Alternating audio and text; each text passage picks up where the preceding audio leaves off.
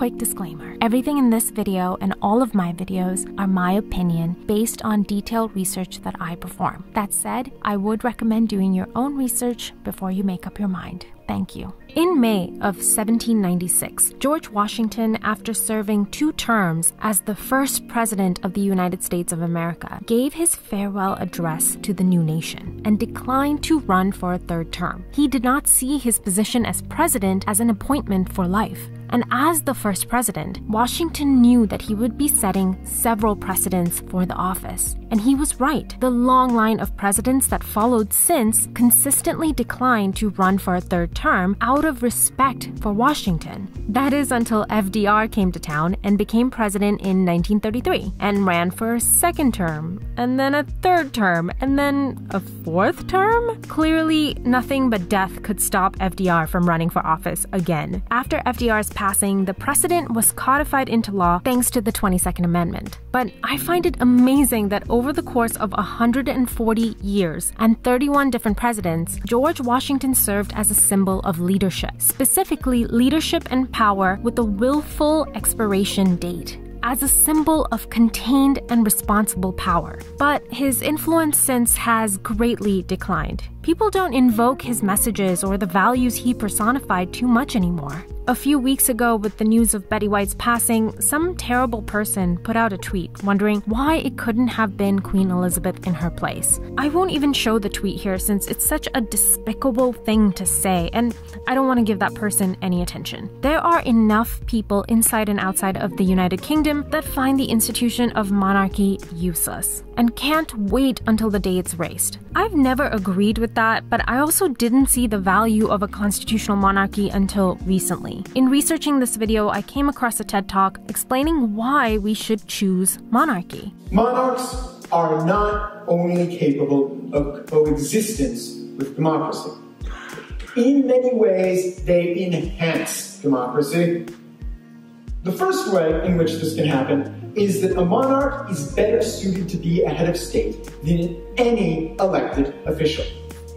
The reason for this is that a head of state is supposed to represent all of their people, regardless of race, regardless of gender, regardless of sexual orientation, regardless of religion, and crucially, regardless of political alignment. I'll link the video below and I absolutely recommend watching it in full. But the crux of Noah's point is that monarchy adds stability, consistency, and a nonpartisan challenge to the leaders that get elected by the people. Politicians sway to public opinion. They can be manipulated and are manipulative. They can be bribed, bought, and sold. This is why the people don't have trust in the class of politicians. The offices of the president or prime minister of a nation are designed to be revolving doors, with people coming and going as per the elections. But in the case of the United Kingdom, the Queen is always there. She is a fixture as the head of state and as a representation of the essence of British people's interests, culture, and most importantly, a representation of their values. So, what exactly are these values? They're not about absolute power or living excessively like monarchs used to represent in the past. The modern monarchy represents character and morality, like having strength in the face of adversity, being impervious to financial influences like bribery or material gain, and being untouched by any temptation of political power. So, completely antithetical to the politicians. The Queen is the untouchable embodiment of the ideal governance. She stands above the government. The prime ministers at their appointment are invited to form a government by the Queen. But the Queen is not above the British people. No, instead, the royal family's primary role is to serve the people. My whole life,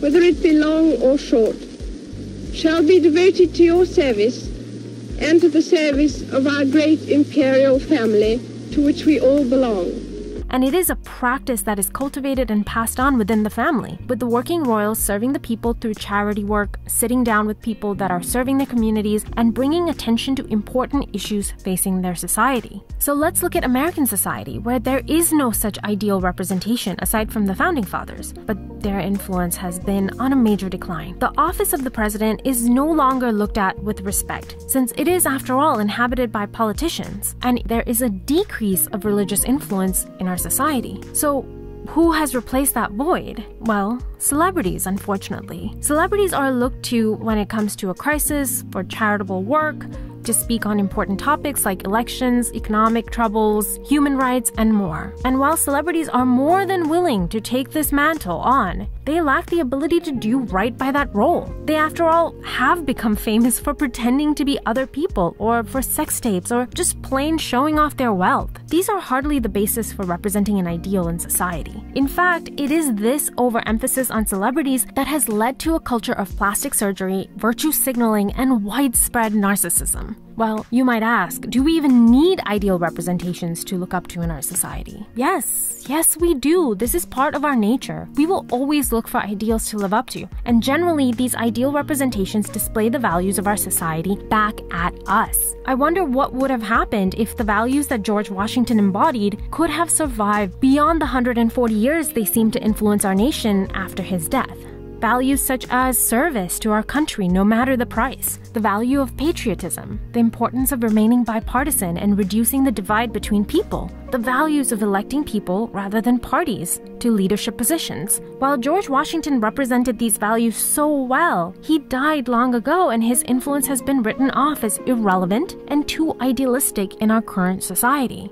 In British society, they have the benefit that the ideal representation of British values is forever embodied by the monarch. And since it's embodied by a person, the representation can grow and change along with the people. Each monarch has the ability to bring with them something to the institution that will ensure its survival. So rather than stay stagnant, irrelevant, and die out, the institution and the representation can evolve and endure. This also puts into context for me why Meghan Markle's and Prince Harry's challenge of the royal family has been such a big deal. People have been obsessed, as am I, with this face off.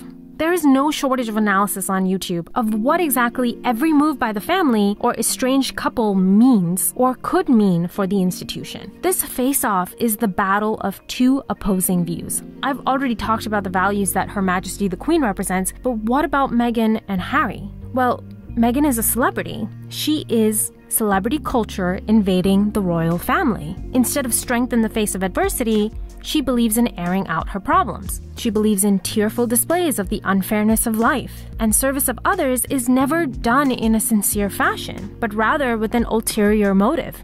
Like when Harry and Meghan went to a school to distribute school supplies, it was purely done as a publicity stunt. After they had the photos, the couple were quick to make themselves scarce. Instead of being unswayed by money, Prince Harry and Meghan Markle are all for it, looking for monetization opportunities wherever they can get them, signing deals with Spotify and Netflix, taking camera crews with them when they visit the UN, publishing books using their royal titles, and to cap it off, Prince Harry has plans to publish a book about his family. And finally, the two are tempted by power. It's so clear now that the Oprah interview was a ploy to sow doubt when it came to the suitability of Prince Charles and Prince William as future monarchs. And never should we forget the remark that Meghan made, saying that they were one plane crash away from the throne. So, the battle between the Sussexes and the royal family isn't simply a family issue or celebrity gossip. It's a public criticism of the values the family represents and a desire to supplant them with celebrity culture. No wonder the British people refuse to take the challenge lying down. And no wonder why the royal family scrutinizes their own public behavior so intensely. This is why all the instances of airing dirty laundry, cheating rumors, or much worse scandals are such a risk to the monarchy. If the monarchy is supposed to represent the ideals of British culture, then it better live up to that ideal. Otherwise, the whole thing may come crumbling down. This is also why people are more and more likely to stand by the Queen instead of siding with Meghan Markle and Prince Harry. Where the Sussexes offer visions of complaining and narcissism, the Queen offers a higher vision to her people, an ideal to aspire to, to be inspired by. In a world where the difference between right and wrong has become increasingly blurred, despite her family getting embroiled in divorces, feuds, scandals, the Queen has stood as a lone, incorruptible figure. Forgetting Elizabeth Windsor now. Now only Elizabeth Regina. Yes?